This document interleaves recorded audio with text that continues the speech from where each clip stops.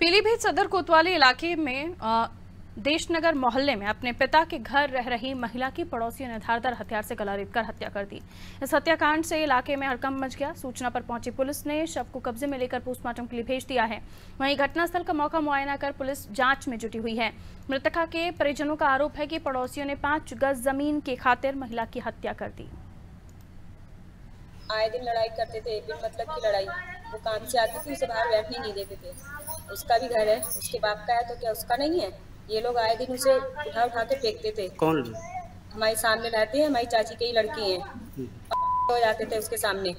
बहुत ही ज़्यादा गंदे लोग हैं ये। महिला की हत्या कर दी गई और इसमें तुरंत ही हमारी कोतवाली की फोर्स मौके पर पहुँची थी सूचना मिलते।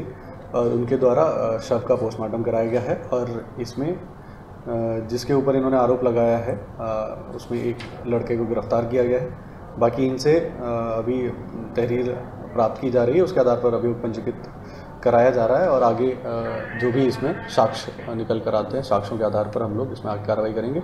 जो मेन अक्यूज बताया जा रहा है, उसको हम लोगों ने अभी पकड़